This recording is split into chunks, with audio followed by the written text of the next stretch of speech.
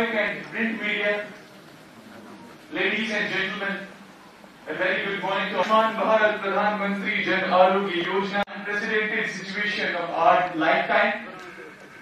Yes, you are getting me right. Before we start our scheduled proceedings, I would like to welcome आपको quality सेहत का जो care medical care मिले उस चीज़ को इसको तकरीबन इसमें सारा उसको इनकम्पास किया गया है। इसके दो पहलू बेसिकली स्कीम को जो लॉन्च किया गया है, एक तो इंश्योरेंस है, जो फ्री जो free treatment up to certain stage और दूसरा एट द सेम टाइम इसमें है अपग्रेडेशन ऑफ़ इंफ्रास्ट्रक्चर और अपग्रेडेशन ऑफ़ रिसोर्सेज जिसके लिए ऑलरेडी काफ़ी लंबे अरसे से काम हो रहा है। अलग अलग महकमों के सीनियर ऑफिसर साहबान पब्लिक के। दिल की उम्मीद गहराइयों से मुबारकबाद हो और उम्मीद ये है कि श्रीनगर के मेयर मोटू साहब deputy commissioner Shahid ji commissioner secretary. हैं कि 2018 में आयुष्मान भारत स्कीम शुरू की गई थी। लेकिन बहुत सारे हमारे सिटीजन उसका बेनिफिट नहीं ले पाए क्योंकि socio economic caste survey two thousand eleven Amit Kumar आप भी तैयार रहे नानक नगर जम्मू से आपका ताल्लुक है। सबने अपने अपनी मंशा के अनुरूप वोटिंग कर कर अपने अपने अपने प्रतिनिधि चुने हैं। वो जम्मू कश्मीर के विकास की यात्रा को गाँव तक आपके घर तक पहुँचाने में चमत्कारिक परिवर्तन ये आने वाले पाँच सालों में करेंगे। और पाँच अगस्त के बाद प्रधानमंत्री जी ने जो वादा किया था कि जम्मू कश्मीर में गाँव तक लोकतंत्र को पहुंचाना और व्यक्ति को लोकतंत्र के अंदर हिस्सेदारी लेने का मौका देना और उसको एक प्लेटफॉर्म देना। मैं मानता हूँ वो वादा आज प्रधानमंत्री जी के नेतृत्व में पूरा हुआ है। सुरक्षा और शांति का जहाँ तक सवाल है, सुरक्षा और शांति भी बहुत लंबे समय के बाद प्रधानमंत्री जी के कार्यभार संभालने के बाद 2014 से आज तक कश्मीर पहली बार एक से छह साल का कालखंड आया है कि शांति का अनुभव कर रहा है। आज शांति जम्मू के सांसद जो हमसे जुड़े हुए हैं, जुगल किशोर जी जो सावा में हैं, श्री शमशेर सिंह मनहास जी जो राज्यसभा के सदस्य हैं और रजौरी से हमसे जुड़े हुए हैं श्री नजीर अहमद जी। आज के दौर में भी इलाज की सुविधाओं से वंचित है या जो सुविधाएँ जुटा नहीं पाते हैं। आशा करें आज का दिन जम्मू कश्मीर के लिए बहुत ऐतिहासिक है।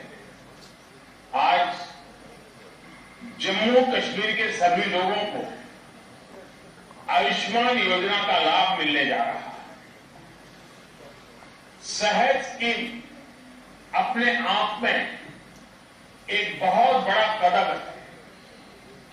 और जम्मू कश्मीर के लोग अपने लोगों के विकास के लिए ये कदम उठाता देख मुझे भी बहुत खुशी हो रही है। और इसलिए श्रीमान मनोज सिन्हा जी और उनकी पूरी टीम को सरकार के सभी मुलाजिम को, जम्मू कश्मीर के नागरिकों को, मेरी तरफ़ से बहुत बहुत बधाई है। वैसे मेरी इच्छा थी ये कार्यक्रम कल ही हो। अगर 25 तारीख को अटल जी के जन्मदिन पर यह हो पाता लेकिन मेरी अपनी कुछ व्यस्तताओं के कारण मैं कल इसे नहीं कर पाया, इसलिए मुझे आज की डेट तय करनी पड़ी।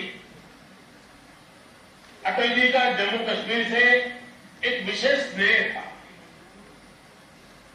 अटल जी, इंसानियत, जमहूरियत और कश्मीरियत की बात को लेकर के हम सबको आगे के कामों के लिए लगातार दिशा निर्देश देते रहे। इन्हीं तीन मंत्रों को लेकर के आज जम्मू कश्मीर इसी भावना को मज़बूत करते हुए आगे बढ़ रहा है। साथियों, इस योजना के फायदों पर विस्तार से बात करने से पहले मैं आज मुझे अवसर मिला है आपके बीच आने का तो मैं कहना चाहूँगा, मैं जम्मू कश्मीर के लोगों लोकतंत्र को मज़बूत करने के लिए भी अनेक अनेक अनेक अनेक बधाइयाँ देता। डिस्ट्रिक्ट डेवलपमेंट काउंसिल के चुनाव ने एक नया अध्याय लिखा। मैं इन चुनावों के हर फ़ेज़ में देख रहा था कि कैसे इतनी सर्दी के बावजूद, कोरोना के बावजूद नौजवान, बुज़ुर्ग, महिलाएँ बुथ पर पहुँचे घंटों तक कतार में खड़े रहे। जम्मू कश्मीर के हर वोटर के चेहरे पर मुझे विकास के लिए, डेवलपमेंट के लिए एक उम्मीद नज़र आई, उमंग नज़र आई।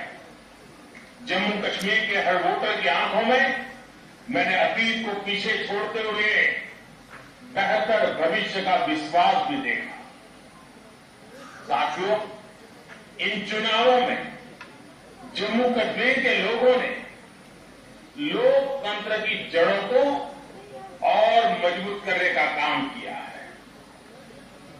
और मैं ये भी कहना चाहूँगा कि जम्मू कश्मीर का प्रशासन, सुरक्षा बल, जिस प्रकार से उन्होंने इस चुनाव का संचालन किया।